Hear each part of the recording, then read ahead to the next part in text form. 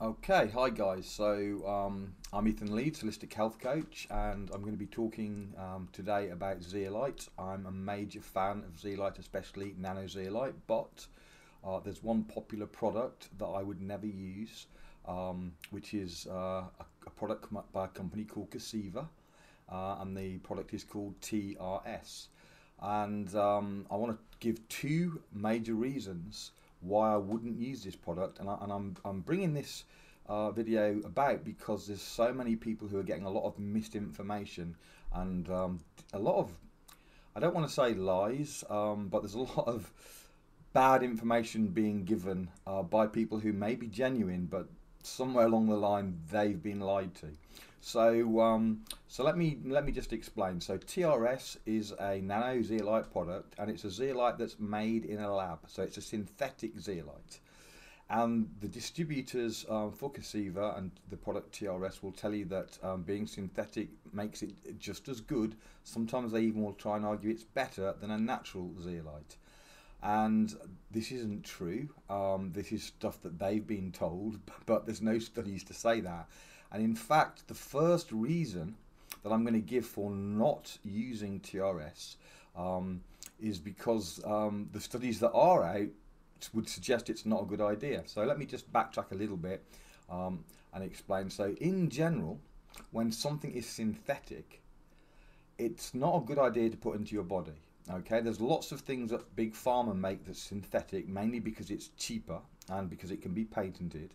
Um, and they would like to claim that the synthetic versions of vitamins and hormones and what have you work just as well uh, as the uh, the actual natural version. That isn't the case. Now, in terms of zeolite, um, they uh, Coseva like to make out that that you know it's going to be exactly the same because it's it, you know it, it, it's a synthetic version that's identical to the to the natural. So I'm going to show you a study that, um, in fairness, they probably haven't seen. And this is a PubMed study. Is, I've just taken a part that's uh, relevant um, and I've highlighted it down even further. So I'm just going to read a little bit about what it's saying here. Um, and it's saying even though aluminum from the clino, clino I always struggle with this word, cliniptolite um, materials does not enter the blood or accumulate in the body. Okay, so even though aluminium or aluminum um, from the cliniptolite material. So um, clinip or cliniptolite is just a form of zeolite. It's a form that's difficult to say, um, but it's just it's just the, the the best type of zeolite for detox. Okay, so what it's saying is that aluminum does not enter the blood or, or accumulate in the body from this form of zeolite. Okay, and, and it backs it up by saying, as shown in athletes supplemented with zeolite um, cliniptolite supplements or healthy rats supplemented with different um, cliniptolite materials. Okay, so they've done studies and they've discovered that aluminum is not left in the body by this form of zeolite. But then they say where aluminum released into the systemic circulation was observed, so there is a situation where it has, has come out of the zeolite, but only in rats supplemented with synthetic zeolite. So I want you to see that very important detail. So the natural version of zeolite does not leave aluminum in the blood circulation or in the body to accumulate, but the synthetic version does. That is a huge difference. Now, I'm going to read a bit further uh, it says um, here, in this study, authors also proved that cliniptolite materials were efficient in the removal of aluminum. So hold on, so the natural one, it's going back to the natural one, are efficient in removing aluminum from aluminum chloride intoxicated rats in vivo.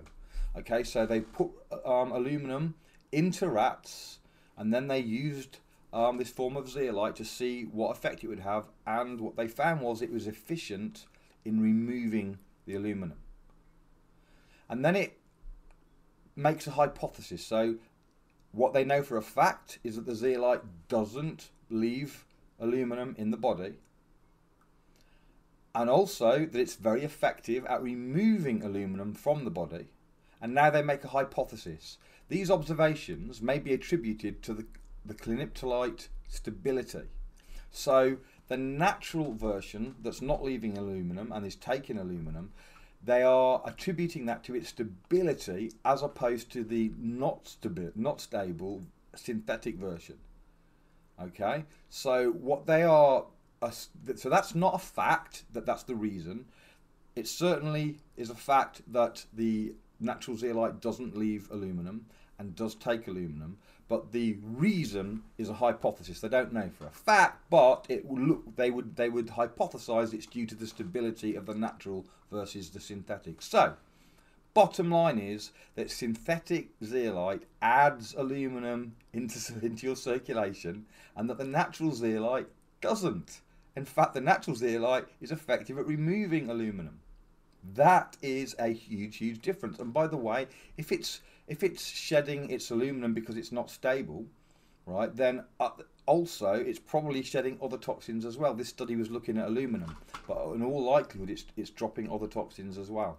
So now I'm not saying that TRS doesn't create great results. I've seen it create great results, especially short term, um, because it is going to take toxins out of the body. And anytime you take toxins out of the body, you're likely to have good results. However, if it's also leaving certain toxins over the longer term, you really, you know, you don't know what's going to happen. And I've met people and spoken with people who've used TRS, had great results initially, and longer term they've started to run into trouble, started to get lots of problems. And then when they switched to a natural zeolite, at that point they started to recover for, uh, recover again. So, the reason number one, not to use TRS is it's synthetic the assumptions of it being as good as a natural are not validated by the science. There's not much science on synthetic in the human body. They haven't got nearly all the studies uh, of, of nanozeolites and, and regular zeolites in the human body are all done on the natural. There's very little on the synthetic, and when we do see those studies, they're not looking good for the synthetic. Okay, so reason number one on its own should be enough to not want to use a synthetic zeolite. Reason number two is that the synthetic TRS zeolite, even though it's cheaper to manufacture because synthetics are very cheap, which is why Big Pharma loves them because you can just make them in a lab um, much, much cheaper than you can uh, produce them from natural things. But even though it's cheaper to produce, TRS is more than twice the price of the natural zeolite on which it was based. Okay, so um, so TRS was based on a natural zeolite that was around from 2012 um, and then 2015. Um, a doctor, well, I say a doctor, doc, Dr. Tracy Holford, his, his credentials are seriously questionable. There's some strong evidence out there that he's actually uh, a fraud. Um, this I haven't got time to get into that on this video, maybe another video. But Dr. Tracy Holford, who created the TRS, based it on um, another natural one which is less than half the price. Uh, I say less than half the price, I'm talking about per spray. It's a similar price because the bottle is much larger. You get 60 ml instead of 28 ml. So um, so each each spray is just as powerful, but you're getting more than twice as much, and you're paying a little bit less for more than twice as much. So my recommendation is this other zeolite. Now, um, below this video, there's a button you can press to get more information on the one I recommend and or purchase it if you want.